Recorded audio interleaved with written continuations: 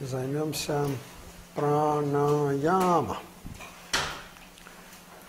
Будем делать сегодня расаяна пранаяма. Пранаяма для омоложения тела и души. Почему? Потому что молодость – это такая болезнь, которая, как известно, очень быстро проходит. Вот. Быстрее всего. Все так долго, мучительно тянется, а молодость так быстро, раз щеки нету. Глазом не успеешь моргнуть. Вот. И ключевую роль здоровья, экстерьер человека, интерьер его тоже, конечно же. Ключевую роль играет прана. Собственно, количество и качество этой праны определяет, здоровым будет человек или больным. А если заболел, выздоровеет или нет. А, и то, как в конечном итоге он выглядит. Потому что чем отличается молодость от старости? -то, по большому счету. Все то же самое, как бы, казалось бы, да?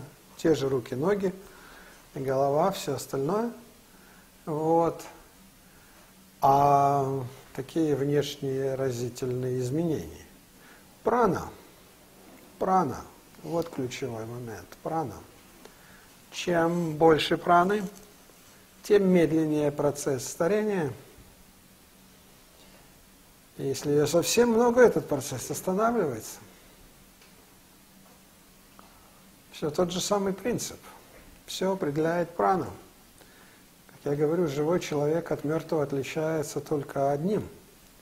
В живом прана есть, а в мертвом праны нет. Вот и вся разница.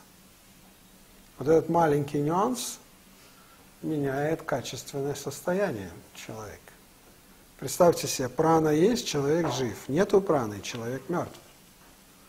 Все зависит от праны. Прана все определяет.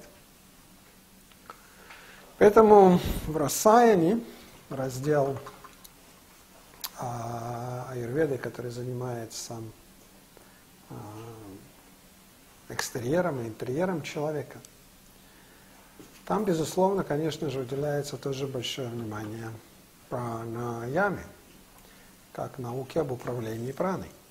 Хотя вот наше занятие называется э, Расаяна пранаяма, но правильно было бы сюда добавить еще и ваджи карана пранаяма, потому что ваджи карана – это наука о продлении функциональных возможностей человека.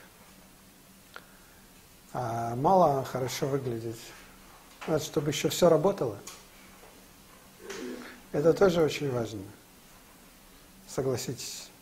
Чтобы все двигалось, крутилось, вертелось, передвигалось. Какое-то движение происходило там и так далее, и так далее. Ваджи и карана – это функциональные возможности человека. Работа его организма, все функции. И ваджа карана – это не только Э, как бы продление этих функциональных возможностей. Ваджи Карана – это их улучшение. Улучшение. Вот я в субботу уже рассказывал, что согласно Аюрведе, что было известно давным-давно, а наука современная это подтвердила совсем недавно лишь, что с возрастом, например, умственные способности человека увеличиваются. Не уменьшаются, как это было принято считать до недавнего времени в обычной традиционной медицине, которой всего лишь 200 лет, а вот в нетрадиционной аюрведе, которой неизвестно сколько тысяч лет, никто сосчитать не может, но 10 тысяч как минимум, потому что она послепотопная, а потоп был 12 тысяч лет назад. Поэтому, значит, ей как минимум 12 тысяч лет. Да? Вот, она считается нетрадиционной. Смешная ситуация. Вот в Аюрведе это было известно давно, а сейчас наука это подтвердила, что, например, координация движений скорость реакции, интеллектуальные способности человека, способность принимать решения с годами улучшаются. Там брали 60-летних и 30-летних. И оказалось, что по всем параметрам у нормальных, которые не употребляют никуда, ниоткуда, да, а, ну, такие нормальные люди, ведущие здоровый образ жизни, средний нормальный человек, 30 лет и 60 лет. Вот у тех, у кого 60 лет, у них параметры умственной деятельности выше. Скорость принятия правильных решений, реакция, координация, сообразительность там и все прочее. Они выше на самом деле. Представляете, как интересно? Это переворачивает полностью все представления о работе головного мозга человека. Все, все особенности, все особенные способности его, они с годами улучшаются. Поэтому идея о том, что с возрастом все может становиться лучше, это не бредовая идея, а это вполне обоснованная идея. Только, естественно, этим надо заниматься. Вот. Ну, если ничего не делать, тогда и будет как у всех. Но если что-то делать, то все это можно изменить.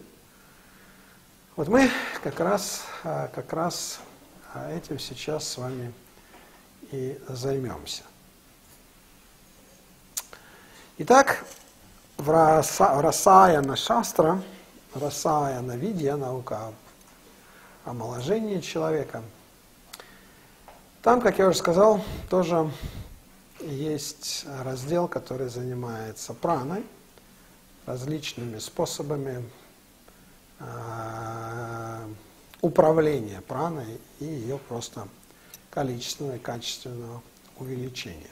И мы с вами этим сегодня э, как раз и начнем заниматься. Но прежде чем мы начнем, есть еще несколько очень важных э, вещей. А, Прана-яма – наука об управлении праной.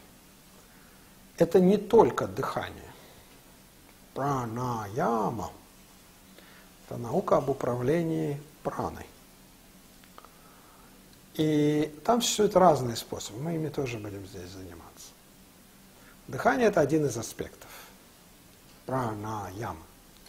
Но прана-яма – это управление праной как бы в повседневной жизни, не только когда человек делает какие-то дыхательные упражнения, так называемые пранаяма, э, в яяма. Вот. Управление праной в повседневной жизни, в быту, что называется, это тоже очень-очень важная вещь. И то, как человек ей управляет, на самом деле определяет очень-очень много в его жизни потому что все события, явления и процессы в жизни, они сделаны из праны. Потому что прана – это универсальный материал, из которого все сделано. Поэтому если человек управляет праной, он может управлять событиями и процессами своей жизни. Не только внутри тела, но и снаружи, естественно. Почему дыхание? Потому что основное количество праны человек получает через воздух. Вот как я рассказывал на занятиях, посвященных правильной диете, занятия, которые у нас по пятницам проходят, как правильно питаться согласно йоге, аюрведе и тантры, там такой интересный есть момент. Там про белок всякие там рассказы и так далее. Так вот, на самом деле главным источником белка для человека является воздух. Да-да, вот кто не был на моих занятиях, я не оговорился, еще раз повторю. Воздух является главным источником праны. Потому что что такое белок? Кто знает, что такое белок из химии шестого класса? Белок – это кислород, азот, водород и углекислый газ. А это все что? Это газы. Это газы, они в воздухе, воздух из этого состоит. Воздух на 23% состоит из кислорода, а на остальные 77% состоит из разных других газов, где самую большую долю занимает азот. А белок – это комбинация этих газов. Если мы их смешаем вместе, мы получим белок. Но смешать это нужно в органической среде. Коей человеческий организм и является на самом деле. Поэтому все разговоры там про белок, о том, что белка не хватает, там, умрет в судорогах страшных человек, все это глупости. Глупости абсолютно невежественных людей, у которых нет ни малейшего понимания ни о чем. Есть люди, которые ничего в жизни не едят вообще. Сейчас такое течение в мире набирает обороты, когда люди вообще ничего не едят. Очень много таких людей. Вот. Нормальные люди, вот на них посмотришь, совсем не как какие-то истощенные там узники тюрем и лагерей. Нормальные, здоровые люди, да? ничего не едят вообще. И не умирают. Почему? Очень просто, потому что основным источником белка является воздух, которым мы дышим. 22 тысячи раз в день. Да? 22 тысячи раз в день. Такое количество дыхания. Поэтому основным источником и белка является, конечно же, воздух. Ну и, собственно, кислород, которым мы дышим, без которого все обменные процессы в организме просто-напросто невозможны. Они невозможны без воды и кислорода. Ну, кислород – это одна молекула кислорода, вода, и две молекулы водорода. Вот они смешались, получилась вода. Да, то есть, как бы без воды и без кислорода химические процессы, обменные процессы в организме человека, они просто-напросто не происходят. Поэтому если в организме не хватает воды, не хватает кислорода, организм начинает просто-напросто разрушаться. И это проявляется прежде всего в том, что человек быстро стареет. Да? Что разрушение организма, это старение, это и есть разрушение организма. Это очень важный момент. И без воды никуда, без кислорода никуда, потому что окислитель, универсальный окислитель, кислород же это окислитель. Горение почему происходит? Что окислитель есть, да? кислород. Без кислорода горения не будет. Кислород нужен, чтобы горело что-то. Кислород уберем, все потухнет сразу, понимаете, все потухнет. Без кислорода ничего не горит. Точно. Вот. Поэтому кислород необходим человеку для всех физических и обменных процессов, которые в нем происходят, физиологических тоже, конечно же, в первую очередь физиологических. Что там там кряхтит? Чем-то недоволен.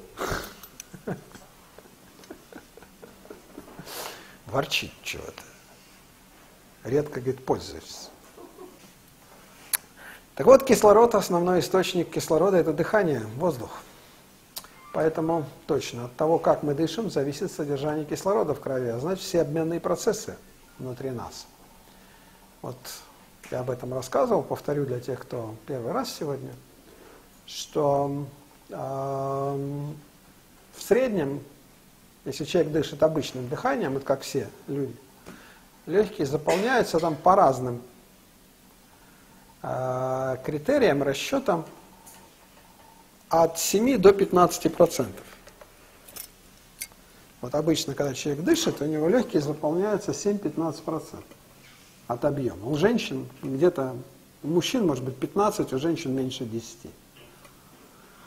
Что это означает? Это означает, что все процессы в человеческом организме, соответственно, там в 7 или в 10 раз хуже протекают, чем должны быть. Очень интересная вещь. Вы обратили внимание или нет, но женщины стареют быстрее, чем мужчины. Обращали внимание? Да? Почему? Одна из причин – они дышат неправильно. Ну, и мужчины тоже дышат неправильно, но у них там по другим причинам процент заполнения легких, он чуть-чуть больше а у женщин он меньше. И поэтому женщины быстрее стареют, чем мужчины. Вот.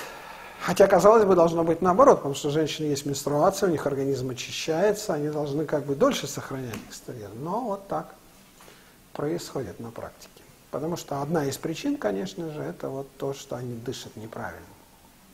Отсюда у них слабая диафрагма. Ну, собственно, слабость диафрагмы определяет все остальное. И родить не могут сами, там уже без посторонней помощи и так далее, и так далее.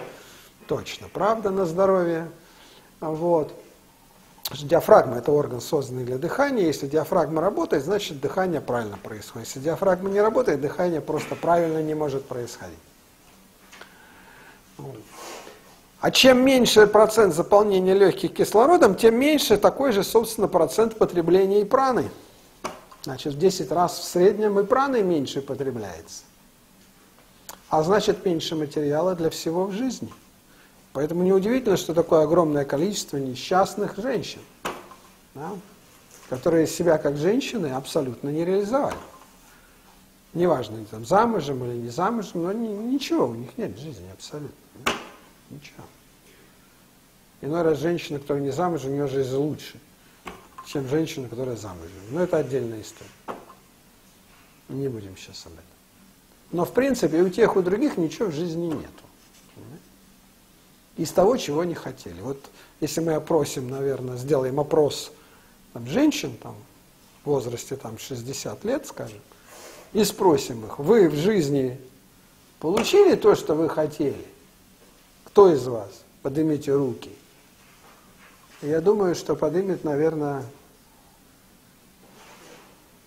может быть, один на сто тысяч, а может и того меньше, на миллион. Да? Ничего нет. А и понятно, и быть не может. С мужчинами такая же ситуация, но может чуть лучше. Но принцип тот же. Потому что праны нет. Нет материала, из которого сделаны события в жизни. Не из чего их делать, понимаете, нечего. И подобное порождает подобное и притягивает подобное. Праны нет, значит, такого мужика притянешь тоже без энергии, без праны. И будут там они болтыхаться вдвоем.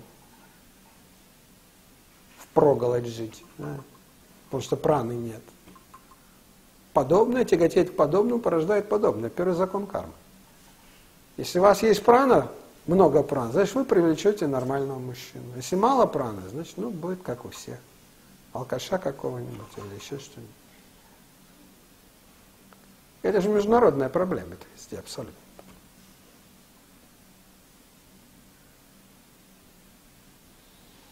Поэтому нужно правильно дышать. Полное дыхание, о котором мы говорили, это как бы маст, это минимум минором. И есть специальные пранаямы, которые будем с вами тоже сегодня делать. Поэтому вот эти пранаямы, они увеличивают содержание праны, количественно и качественно в человеке. А из праны сделано все. Будет прана, будет все. Не будет праны, ничего не будет. Все очень просто, на самом деле. Мы начнем наши пранаямы, расаяна пранаямы, с пранаям, предназначенных для нормализации, стимулирования работы легких. Потому что легкие – это главный орган, через который происходит потребление, усвоение кислорода и праны. Вот, кстати, то, что дыхание является главным источником праны, подтверждается простым фактом. Человек без пищи может жить всю жизнь. Таких примеров много, и в истории там разные были святые, там куча их, которые никак в жизни не ели ничего. Да? Без воды человек, ну, в зависимости от Конституции, 7-10 дней. Потом страшная смерть в жутких мучениях и конвульсиях, с жуткими воплями. А без воздуха 5 минут и все. 5 минут и все. И поминай, как звали. А был ли мальчик? Может, мальчик это и не было совсем. Это показалось только. Почему? Потому что основное потребление праны идет через воздух. И здесь ключевую роль играют легкие. А с легкими такая же беда, как и с печенью, и с другими органами. Они плохо работают. Верхушки легких только работают, при том поверхностном дыхании, которым дышат люди. А легкие это очень интересный орган. Он такой капхогенный орган. Это капха, орган капхи. Там вода, доминирующий первый элемент. А на самом деле легкий это тот орган, где постоянно происходит горение. Там горит огонь. Потому что там происходит окисление. Туда поступает кислород, сгорает углекислый газ. В легких, как ни странно, постоянно горит огонь. Вот это невероятно. Капхогенный орган, а внутри огонь горит. Потому что происходит усвоение кислорода. Это значит, что состояние легких будет определять количество, качество кислорода и количество и качество праны, которые человек потребляет. Вот. И для того, чтобы нормализовать их состояние, стимулировать и отрегулировать, используются специальные пранаямы. Мы с вами две такие пранаямы и проделаем.